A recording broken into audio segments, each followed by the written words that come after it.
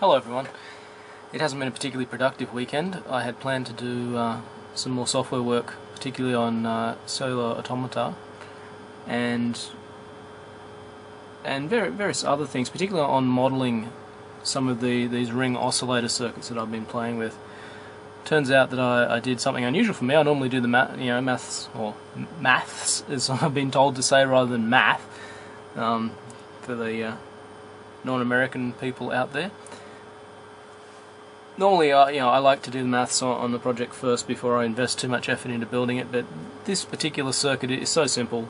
Um, I just went nuts with the the parts bin and and built up 38 stages uh, and uh, let it rip. It's uh, it's interesting when you scale it up. It it, uh, it behaves quite differently to some of the simulations. I, I think it might have something to do with the gain and the, the time constants that I'm using per cell, but basically you can you can watch the impulse go round the loop, round and round and round. It, basically, each alternating cell has the opposite state, and the um, the the displacement or the the uh, the change of state propagates through the network uh, as a uh, a function, I guess, of the time constant of each stage.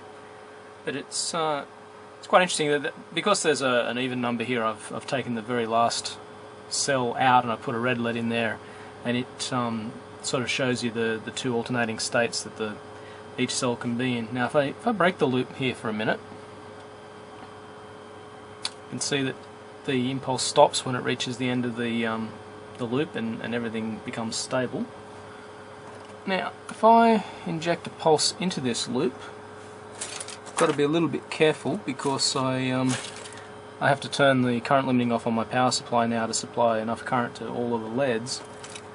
So if I uh, screw up, I'll I'll end up smoking something.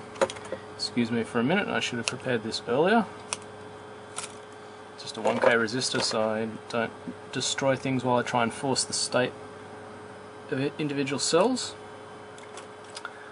Okay, so if I inject a pulse into the network, you can watch it go right through to the other end.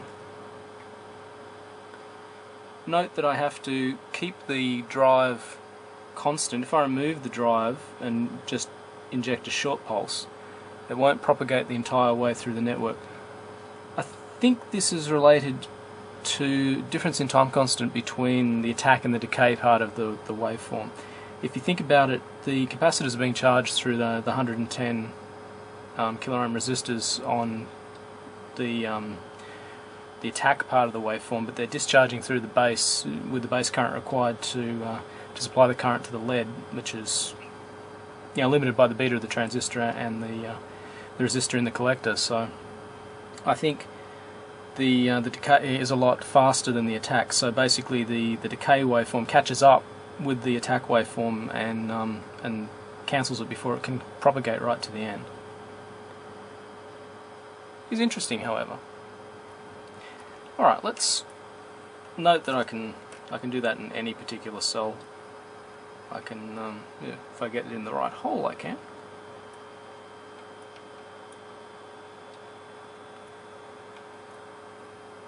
Got to um, inject it in a cell that's currently in a different state. So obviously I'm only forcing it up here, not not up and down. Although I can swap the um, the power over to the other side and uh, over the other rail and pull it down, and it will work pretty much the same. Okay, let's re-establish the uh, the loop and let it oscillate again. Again, got to be careful I don't blow stuff up.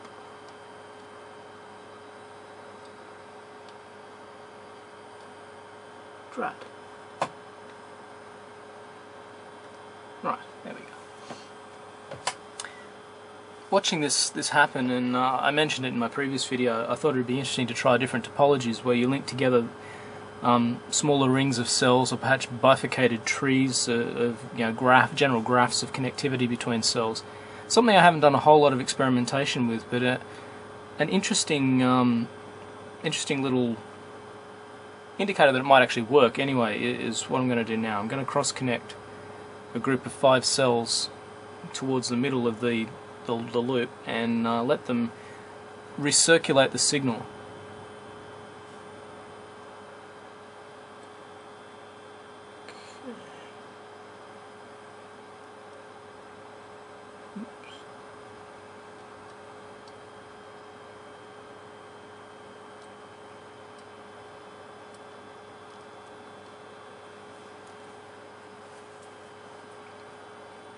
Now if you watch the, uh, the good old red LED here, you can see that it's blinking several times per cycle around. Essentially what's happening is this little recirculated section's acting as a uh, as like an oscillator, but it, it's being controlled on and off by the pulse that continues around the longer part of the loop. Basically, when two cells have the same state right alongside of each other, they won't propagate a pulse traveling through the network towards them. So pulse comes along, goes around, recirculates through the loop, and continues to do that until the pulse that basically started this all goes all the way around the loop and comes back, and then it interferes with it, interferes with the recirculation and stops it. So it's uh, it's quite an interesting effect. You can you can tap it at different points and have a general play with the topology and get a lot of different kind of blinking patterns out of it.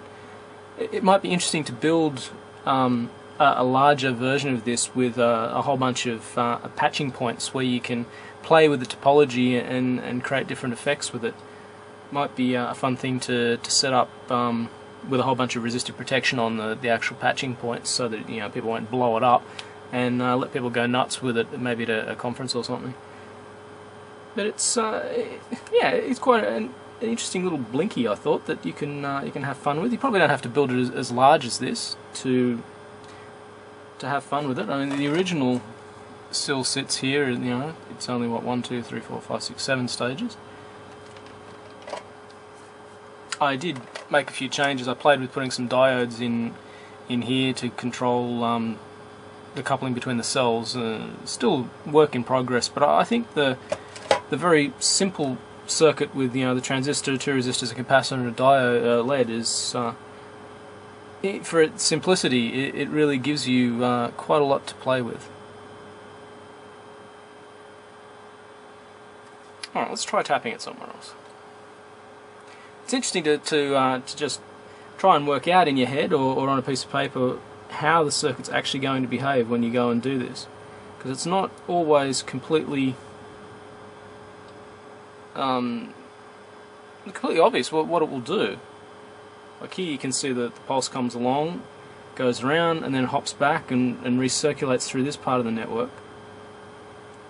And then uh, you can see here by the red blinking LED how this part of the, the circuit's actually behaving. Obviously you want to, to to play with it more. I've been probing it with the CRO and watching the, the waveforms um, going around. It's not quite purely digital. There, there is differences in the amplitude of the, the signals that make it around the loop when you do various different tappings. It's uh, it's actually quite complicated for something that seems so simple. It uh, it has a lot of mysteries if you're prepared to sit down and study it. If nothing else, it looks really cool, and I like that about it. Anyway, have fun.